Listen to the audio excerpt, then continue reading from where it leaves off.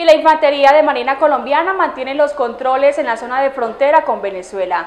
La Cancillería colombiana ha reiterado que el único paso autorizado para el paso de las personas es el puente internacional José Antonio Páez. La Infantería de Marina colombiana viene realizando operativos en el río Arauca con el fin de cumplir la orden de la Cancillería colombiana que el único paso autorizado es el puente internacional José Antonio Páez en esta zona de frontera. Como ustedes han podido observar, hemos tenido unos fuertes controles sobre exactamente sobre el sector del paso de las canoas.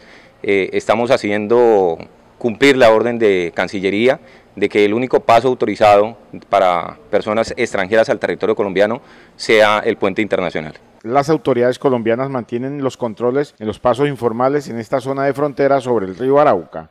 Sí, claro, mantenemos una operación sostenida también en conjunto con las demás autoridades, el Ejército Nacional, la Policía Nacional en cada uno de los pasos informales, con el fin de mantener un control estricto sobre el personal que ingresa al territorio colombiano. El paso de las canoas es tradicional, pero deben de entender que el paso autorizado es por el puente internacional. Bueno, este es un paso que culturalmente se ha tenido, eh, no estamos en contravía de de las personas que trabajan allí, pero sí queremos hacerles entender que el paso autorizado debe ser donde está el control de Migración Colombia, que es el puente internacional.